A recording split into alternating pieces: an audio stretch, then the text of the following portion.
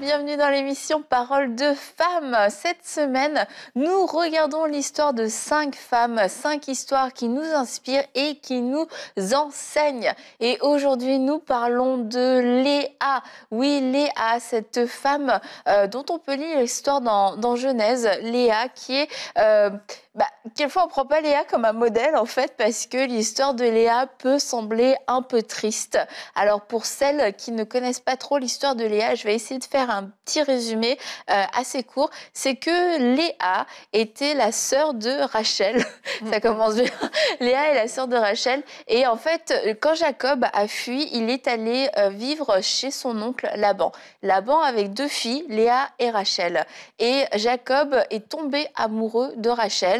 Il a voulu épouser Rachel et au, le soir du mariage, de la nuit de noces, Laban a échangé les filles. Au lieu que ce soit Rachel, il a donné Léa. Mm. Et Jacob, euh, dans l'euphorie de, son mariage, de sa nuit de noces, ne s'est pas rendu compte que euh, les deux femmes avaient été échangées. Du coup, il s'est retrouvé au petit matin, euh, Marie, à euh, marié à Léa. Et euh, bah, grande déception, imaginez-vous, c'est une grande déception quand même, grande déception pour Jacob qui voulait lui épouser Rachel, grande déception j'imagine aussi pour Rachel. Et il se trouve que bah, au milieu de, de cette histoire, au milieu de, de, de, de toute cette saga, se trouve Léa. Léa qui a été placée de, de force, qui, à qui on n'a pas demandé son avis, mais qui se retrouve mariée à un homme qui ne veut pas d'elle. Et tout ça par l'entremise de son père, son père qui a décidé de faire tout ça. Une sœur du coup qui est mécontente parce que euh, elle n'a pas été épousée, sa sœur lui a pris sa place. Donc imaginez tout l'engrenage, toute la dynamique relationnelle et familiale qui s'est instaurée. Et euh, bien souvent, bah, on parle de Léa comme celle qui n'a pas été aimée, celle qui a été rejetée, celle qui avait aussi, la Bible nous dit, les yeux délicats. Alors certains diront qu'elle avait les yeux clairs, euh, d'autres diront qu'elle avait plutôt qu'elle louchait, d'autres diront encore autre chose sur ses yeux, mais en tout cas, la Bible dit qu'elle avait les yeux délicats. Et il semblerait que pour Laban, son père, c'était euh, un petit peu la chance de pouvoir marier son aîné et, euh, et de pas, c'est ça, de pouvoir la caser de cette façon-là, d'une façon totalement malhonnête. Et puis, on peut comprendre la déception de tout le monde. Mais aujourd'hui, on veut regarder euh, Baléa, cette femme qui n'a rien demandé et qui pourtant se retrouve au milieu de toute cette tragédie. Et non seulement elle n'a rien demandé, mais personne ne la demande. Mhm. Et c'est un petit peu ça, bah, le, enfin c'est un petit peu ça, c'est même complètement ça, le nœud du problème, le nœud, la souffrance de beaucoup d'entre vous, c'est ce rejet. Alors peut-être que ce n'est pas la même histoire que Léa, mais ça s'est traduit de d'autres façons. L'enfant qui n'a pas été désiré, l'enfant qui n'a pas été voulu, euh, la femme qui n'a pas été, vous vous sentez pas comme le premier choix de votre mari. C'est comme il y avait une autre histoire, mais votre mari a dû vous épouser parce que l'autre femme, la famille n'a pas accepté, la famille n'a pas voulu. Du coup, vous vous sentez depuis toutes ces années de mariage que votre mari s'est juste rabattu sur vous, mais que vous n'étiez pas son premier amour ni son premier choix. Euh, ça peut être aussi dans le cadre d'une famille d'avoir une sœur qui réussit mieux que vous, une sœur qui a toujours toutes les ovations, les compliments, les éloges de vos parents et vous vous sentez toujours comme celle qui n'est pas là hauteur, celle pour, qui ne fait jamais assez, mm. celle qui n'est pas remarquée. Et ça engendre beaucoup, beaucoup de douleur, beaucoup de souffrance dans l'âme. Et on peut bah, résumer tout ça sous un mot. Finalement, c'est le rejet. Le rejet des hommes qui, euh, quelquefois, bah, vient complètement obscurcir toute notre vie, même la façon dont on vit, dont on parle, dont on pense que Dieu nous voit aussi. Mm-hmm. Annabelle, et alors que tu cites euh, toutes ces différentes manifestations du rejet, euh, tu as dit qu'il y a des personnes que leur histoire, ce n'est peut-être pas l'histoire de Léa. Et ça m'interpelle quand même parce qu'il y a des personnes aussi que c'est vraiment ça leur histoire. Hein. On a souvent tendance à penser que c'est une histoire ancienne parce que ça mm-hmm. relève des, temps bibliques anciens. Mais euh, il y a des gens aujourd'hui vraiment qui, qui parce qu'elles se sont peut-être retrouvées dans un certain foyer, tu vois, sont, sentent qu'elles ne sont pas à leur place. Et, et c'est aussi à ces personnes-là que que, je veux aussi m'agresser à travers cette, intervention. De, elles, se disent Ah, mais moi, en fait, mes parents m'ont donné euh, à cet homme. Dans certains cas, ça existe encore aujourd'hui. Que vous êtes là, vous dites Ok, mais je me suis retrouvée euh, dans cette maison comme ça. Et en a même, vous avez choisi vous-même la personne à épouser. Et puis vous vous posez la question, mais est-ce que c'est vraiment lui parce que dans le foyer, vous souffrez peut-être de rejet, parce que cette personne ne vous voit pas euh, peut-être à, cette juste, à cette juste valeur. Et moi, c'est souvent tout ce que ça entraîne dans l'esprit, en fait. C'est ces choses-là qu'on va attaquer quand quelqu'un sent qu'elle n'est pas préférée, un peu comme euh, ça a été euh, le cas de, de, Léa, où vraiment, elle voyait que c'est, elle n'était pas préférée. Vous pouvez avoir tendance à faire des choses pour, pour taper dans l'œil de cette personne-là. Et dans l'histoire de Léa, c'est dit, hein, c'est que elle a, eu un fils et elle dit, euh, euh, cette fois, il va m'honorer. Comme, OK, enfin, j'ai trouvé le moyen pour qu'il puisse ouvrir ses yeux sur moi. Et, ça, c'est, moi, je, sincèrement, je trouve ça terrible que, qu'on en arrive à, réfléchir euh, dans le cadre d'un couple à, des moyens à gauche, à droite, pour que le mari puisse enfin me remarquer, qu'il puisse enfin m'honorer. Et si c'est votre cas, j'aimerais tout simplement vous dire que euh, vous avez une identité euh, en Christ. Vous avez une identité en Christ et, là où peut-être les hommes ne font pas attention à vous, mais sachez que Dieu, il fait attention à vous, en fait. Et même dans l'histoire de Léa aussi, on le voit qu'elle que elle demandait des choses à Dieu et Dieu exauçait, en fait. Dieu, il fait attention euh, à vous. Et c'est la première chose, je pense, qu'il faut se saisir. C'est de se saisir de sa réelle identité. Hmm. Il y a des personnes que, vraiment, à cause du rejet, votre identité a été minée, en fait. À cause du fait que vous vous êtes retrouvé dans cette maison, vous, vous, vous ne vous reconnaissez plus vous-même. Si on vous demande qui vous êtes, vous allez juste décrire le portrait peut-être d'une vie misérable ou d'une personne misérable, mais vous n'allez pas vous décrire vous-même. Tu parlais aussi de ces personnes dans les familles où il y a des préférences, où mhm. peut-être l'aîné semble être plus valorisé que le cadet ou vice-versa. Ou quelquefois le petit dernier. oui, c'est ça. Gloire à Dieu pour les derniers. il y a aussi des cas comme ça, mais le tout, c'est de se dire, je veux me voir conformément à ce que Dieu voit. Quand Dieu me regarde, qu'est-ce qu'il voit? Est-ce qu'il voit un aîné? Est-ce qu'il voit un cadet? Est-ce qu'il, Qu'est-ce qu'il voit en fait? Et c'est déjà commencer à, à, se voir avec ces yeux-là. Je pense que ça fait déjà, enfin, c'est, le début d'une grande différence dans la vie de toutes ces personnes, si vous en souffrez, c'est de dire, Seigneur, je veux me voir avec tes yeux. À partir d'aujourd'hui, je veux ouvrir mes yeux, non pas comme la situation me montre, non pas comme ce foyer me le démontre, non pas comme dans ma famille, on me le démontre, mais je veux ouvrir mes yeux sur la façon dont toi tu me vois et sur la manière dont tu aimerais que je me perçoive, Seigneur. Je veux ouvrir mes yeux euh, sur cette façon et vous allez voir que plus votre regard, plus vous allez vous-même commencer à vous accepter pour ce que vous êtes vraiment par rapport à ce que Dieu va vous montrer, vous allez voir qu'il sera plus facile d'affronter le regard euh, des autres. Mhm.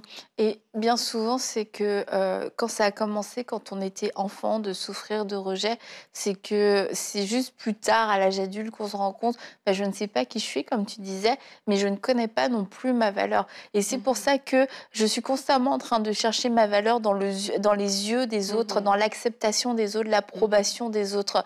Et ce qui est très quelquefois contradictoire avec le rejet, c'est que lorsqu'on souffre de rejet, notre plus fort désir, c'est de pouvoir être accepté, c'est de pouvoir être aimé. Mais d'un autre côté, on n'a on a tellement pas confiance et on a l'impression d'avoir tellement toujours vécu ce, mhm. ce rejet-là. Et, et, quelque part, bah, il y a cette vérité, euh, enfin cette vérité, pardon, ce mensonge qui est mhm. comme une vérité, une fondation dans notre vie. Mais je ne mérite pas l'amour personne ne va m'aimer, ou en tout cas personne ne m'aimera longtemps. Et du coup, pour se protéger, beaucoup de personnes mm. euh, qui souffrent de rejet vont se disqualifier de l'amour des mm. autres, vont se disqualifier. Et c'est comme ça que finalement, on se retrouve à dire, on va être invité. Non, merci, euh, non, je ne veux pas venir, je préfère être seule.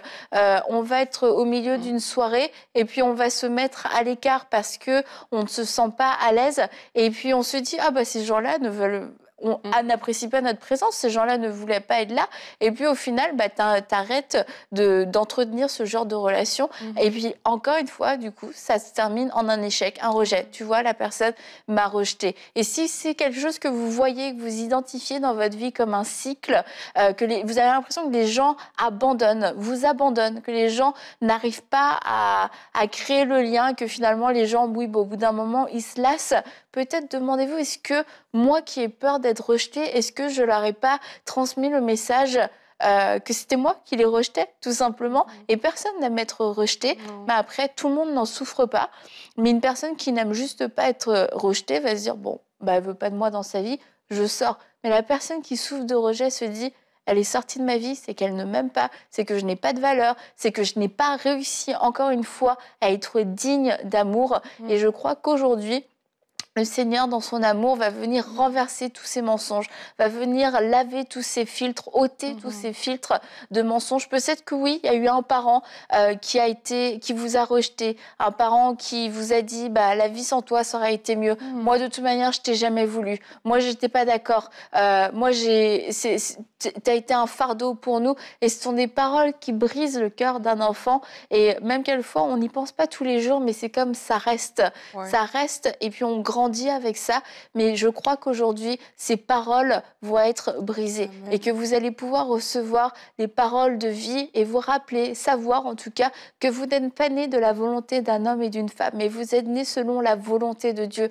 Lui qui a un projet pour vous, lui qui a des plans pour vous. Oui, peut-être que vos parents n'ont pas eu les mots, n'ont pas eu les attitudes, n'ont pas eu les actions adéquates. Mais aujourd'hui, avec Aurélie, on veut vous dire, dans le cœur de Dieu, vous avez toujours été désiré. Vous n'avez jamais été une erreur. Vous n'avez jamais été un fardeau. Vous n'avez jamais été un encombrement ni un regret pour Dieu. Vous êtes, vous faites partie de ses enfants. Il est fier de vous et aujourd'hui, il veut vous redonner votre dignité, vous redonner votre valeur et vous dire arrête de regarder à ce qu'on a dit, à ce qu'on va dire encore de toi. Trouve ta valeur et ton identité en moi. Amen. Et aussi, euh, j'aimerais aller dans ton sens en disant aux gens que Dieu les aime, tout mhm. simplement. Parce que c'est ça aussi le rejet. Quand quelqu'un est rejeté, comme tu l'as expliqué, la personne, c'est difficile pour elle de ressentir de l'amour en fait. Et au final, cette personne est à la recherche de l'amour. Et Dieu vous aime. Dieu ne vous a pas abandonné. Dieu vous aime comme vous êtes en fait. Et il y a certaines personnes justement qui, dans cette recherche de l'amour, peut-être elles vont pas le voir dans les yeux d'autrui parce que euh, peut-être elles-mêmes, elles voient qu'elles ont des complexes, parce que j'ai l'impression que c'est souvent un jeu tordu. Toi, tu, vas, tu, as, tu as besoin de l'amour. Peut-être la personne en face ne te le donne pas. Maintenant, tu imagines que, OK, si je ne reçois pas cet amour de la personne en face, mais c'est parce que j'ai tel complexe physique. C'est parce qu'à tel niveau, ça va pas bien dans ma vie. C'est parce que, c'est parce que, c'est parce que. Donc, il y a une série d'imaginations comme ça dans ta tête, juste parce que tu te vois à travers le regard d'autrui. Et parfois, c'est des choses que autrui ne t'a jamais dit. C'est un regard que tu as imaginé et tu t'es dit, ah, mais oui, mais si Annabelle ne mm-hmm. veut pas être proche de moi, ah, mais peut-être c'est parce que moi, je ne suis pas drôle, je ne suis pas ceci. Et tu te mets dans cette posture-là.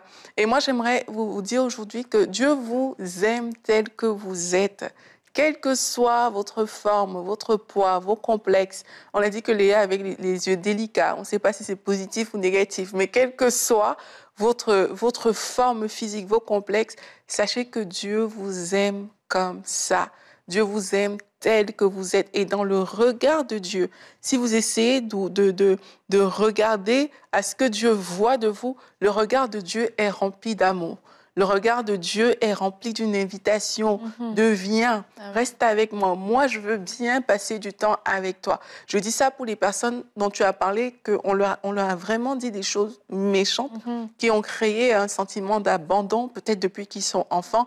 Mais Dieu, il te dit, viens. Oui, cette personne n'a pas voulu de toi, mais moi, je veux de toi. Je veux passer du temps avec toi. Et croyez-moi, l'amour de Dieu bat de plate couture tout autre amour que vous n'avez pas reçu dans la vie. L'amour de Dieu vraiment comble de façon profonde. C'est pas un amour léger, c'est pas un amour superficiel, mais c'est quelque chose vraiment qui remplit pleinement. Et alors que je parle, je pense qu'il y a certaines personnes parmi vous qui êtes remplies de l'amour de Dieu. Vous ressentez vraiment que Dieu vous aime. Pas parce que vous avez fait quelque chose de bien, pas parce que vous avez fait, je ne sais pas, quelque chose qu'il qui ne fallait pas faire, mais Dieu vous aime tel que vous êtes. Est-ce que vous êtes prêt à accepter cette parole aujourd'hui? Et comme Annabelle a dit, apprendre ces choses et les amener devant Dieu. Parfois, les complexes sont réels, Annabelle. Mhm. Parfois, oui, le complexe, il est réel. Et aux yeux de l'homme, il va mettre euh, le, doigt sur ce complexe. Mais Dieu, lui ne met pas le doigt sur ce complexe. Et il a la capacité d'enlever la force de ce complexe, en fait, ce que ce complexe est venu créer à l'intérieur de vous. Dieu a la capacité de l'arracher. Donc, amener ces choses devant Dieu aujourd'hui. Là où tu es, tu peux dire, oui, Seigneur, quand je me regarde, sincèrement, je vois beaucoup de défauts. Je vois des choses qui ne sont pas attirantes. Je, me vois, tu as, bien décrit... Euh, les personnes qui souffrent de rejet, je me reconnais dans cette sœur qui, qui est peut-être pas acceptée de ses parents. Je me reconnais dans cette situation où j'ai toujours besoin de l'approbation des autres. Je me reconnais comme cette personne qui s'exclut, qui se met à l'écart. Mais Seigneur, je veux que tu arraches cette chose. Je veux que tu prennes cette chose à l'intérieur de moi afin qu'à partir d'aujourd'hui, je me vois au travers de ton amour, que je ne me vois plus au travers de mes yeux ou des yeux des autres, mais que je puisse me voir au travers de ton amour. Si vous faites cette prière, avec vos propres mots, de façon simple, de façon sincère, je pense que l'amour de Dieu va vous envelopper, mais vraiment fortement. Et, et, je pense qu'il y a beaucoup de, choses aussi qui vont sortir. Je pense qu'il y a même des gens qui seront peut-être délivrés mhm. euh, aujourd'hui Annabelle. Et avant qu'on puisse prier pour vous, je veux juste vous donner cette image. Euh, c'est comme on, parle, quand on parle de l'autorité, pour expliquer l'autorité spirituelle, on parle du policier qui, le fait d'avoir euh, bah, d'avoir de l'autorité, malgré euh, peu, importe sa petite taille ou sa grande taille, il peut arrêter un camion. Il a normalement cette euh, autorité, et il n'a pas forcément la force, mais il a cette autorité de pouvoir arrêter un camion, de pouvoir maîtriser euh, toute forme de situation, toute forme de situation des circulations. Et en fait, lorsque aujourd'hui vous entendez bah, ces paroles, ces paroles de vérité qu'on a commencé à déclarer, ce sont des paroles d'autorité, des paroles d'autorité qui se situent à un carrefour de votre vie. Et c'est vrai, il y a tout un environnement, il y a toute une euh, signalisation, il y a des feux rouges, il y a des panneaux, il y a tout ça. Mais lorsque le policier se met au centre du carrefour, c'est lui qui prend le contrôle. C'est son mhm. autorité qui prévaut sur tout le reste de l'environnement. C'est lui qui décide si tu passes, si tu passes pas. Peu importe si le feu est rouge, s'il te dit non, vas-y, tu passes, c'est parce que il a sécurisé la voie. Il te dit c'est bon, c'est à ton tour de passer et je mhm. peux bloquer même celui qui a le feu vert. Et peut-être que bah, dans votre vie, toute cette signalisation, c'est tous les hommes autour de vous, tout, tout votre environnement, votre famille, tout ce qui a été dit, toutes les voix, et qui vous donnent toujours le ton de votre vie. Ces feux rouges, tu mm. t'arrêtes. Ces feux verts, tu peux passer. Là, il faut que tu ralentisses. Là, tu dois tourner. Et tout le temps, en fait, votre vie est dictée par cet environnement, par cet entourage humain. Mais aujourd'hui, si vous avez accepté Jésus-Christ comme le Seigneur et le Sauveur de votre vie, il se tient au centre de ce carrefour, et mm-hmm. c'est lui qui a l'autorité. Et aujourd'hui, il prend, si vous le laissez faire, il va prendre autorité sur tout cet environnement. Il va prendre autorité sur toutes ces voies pour que vous puissiez recevoir cette seule et cette unique parole de vérité et d'autorité, c'est que lui vous aime c'est que lui vous a accepté, c'est que lui vous approuve et qu'il vous délivre aujourd'hui. Alors euh, moi, je, voulais vraiment vous encourager à comprendre que oui, ce sont des paroles d'encouragement quand on dit Dieu m'aime, Dieu est amour, mais ce sont aussi des paroles d'autorité. Et lorsqu'on accepte l'autorité de Jésus-Christ, on se soumet aussi à cette autorité. Et certains d'entre vous, vous avez besoin de vous soumettre à l'amour de Dieu, vous soumettre à cette vérité. Dieu m'aime. Dieu m'aime, Dieu m'aime, Dieu m'aime. Je suis faite pour être aimée de Dieu. C'est une parole d'autorité dans ma vie à laquelle je me soumets maintenant même. Je me soumets à l'amour de Dieu. Mhm. Comme tu dis, Annabelle, acceptons ces paroles. Je me rappelle, euh, un jour, j'évangélisais dans la rue, euh, dans le Nouveau-Brunswick, et il y avait une femme que j'ai rencontrée là-bas, et waouh, j'étais impressionnée parce que elle, je sais, elle avait vécu quelque chose de difficile dans sa vie et elle, avait, elle, elle ne se saisissait pas de l'amour de Dieu en mhm. fait. Et moi, quand je lui ai dit que Dieu vous aime, mais on dirait qu'elle allait me frapper mhm. tellement elle était en colère. Et puis j'ai juste, je répétais juste, c'est la seule phrase que je disais, Dieu vous aime. Et puis elle était comme, non, Dieu vous aime, madame. Dieu vous aime. Je, je faisais que dire ça. Mhm. Et j'ai vu que vraiment, il y a des gens qui ont du mal à recevoir ce message parce que c'est comme s'il y a des forces à l'intérieur d'elles qui s'opposent en fait à ce message. Et je pensais à ça quand tu parlais. Mhm. C'est que peut-être il y a des gens qui nous écoutent et à cause de tout ce que vous avez vécu, comme Annabelle disait, tous ces panneaux qui vous ont dirigé jusqu'alors, c'est comme si ça a créé une force mhm. à l'intérieur de vous qui vient s'opposer à ce message de l'amour de Dieu. Mais la Bible dit qu'il nous a tellement aimé qu'il a même envoyé son fils Jésus pour mourir sur la croix pour nous. Je dis souvent, personne n'est jamais mort pour moi, personne. Mais Jésus, il est mort pour nous. Et pareil, comme je le dis souvent aussi, même si quelqu'un vous aime trop pour mourir pour vous, son sang ne peut pas faire le travail que le sang de Jésus-Christ a fait sur cette croix. Et je pense à quelqu'un que tu es tellement découragé, tu te dis que tellement personne ne t'aime dans ton école, tu es jeune, tu as été rejeté et tu es en train de penser au suicide. Tu, tu, tes amis ont, fait des choses contre toi et tu te sens tellement rejeté que tu dis, tu penses à en finir avec tes jours, mais aujourd'hui, je veux te dire, accepte de recevoir l'amour de Dieu. Accepte de dépasser ce sentiment en toi qui dit, ben, il n'y a personne qui m'aime, je veux recevoir cet amour. On va prier ensemble. Et vraiment, que, que, que tout ce qui s'oppose à, l'amour de Dieu dans votre vie, que ces choses soient brisées au nom de Jésus-Christ. Mm-hmm. Seigneur Jésus-Christ, nous te bénissons. Je te bénis parce que tu as prouvé ton amour envers nous en mourant sur cette croix, Seigneur Jésus-Christ. Et alors que tu es mort sur cette croix, tu es venu arracher toutes les racines du mal, toutes les racines du rejet qui pouvaient se trouver à l'intérieur de nous. Toi, tu as été rejeté, Seigneur, pour que nous soyons acceptés. Et Seigneur, aujourd'hui, je veux prier pour toutes les personnes qui souffrent de rejet, quelle que soit la forme que cela prend dans leur vie. Seigneur, au nom de Jésus-Christ, que ton amour remplisse ces personnes maintenant. Que ton amour remplisse ces cœurs maintenant. Que ton amour touche ces cœurs maintenant. Nous venons arracher ces racines qui ont été formées. Toi qu'on a abandonné depuis que tu étais enfant. Toi dont les parents n'ont fait aucun cas. Au nom de Jésus, nous enlevons cette blessure. Nous déclarons que cette blessure est pensée maintenant au nom de Jésus-Christ. Et que l'amour de Dieu se répand maintenant dans ton cœur. Toi qu'on n'a pas souvent préféré, toi qu'on a souvent délaissé, au nom de Jésus-Christ, nous prions pour toi et nous déclarons que tu es accepté de Dieu, que tes yeux s'ouvrent maintenant pour recevoir l'amour de Dieu qui t'accepte pleinement tel que tu es. Toi qui te mets souvent à l'écart, toi qui as besoin de l'approbation de l'autre pour vivre. Au nom de Jésus-Christ, nous proclamons que l'approbation de Dieu devient ton approbation à toi. Au nom de Jésus, nous venons briser ces choses qui retiennent les personnes captives.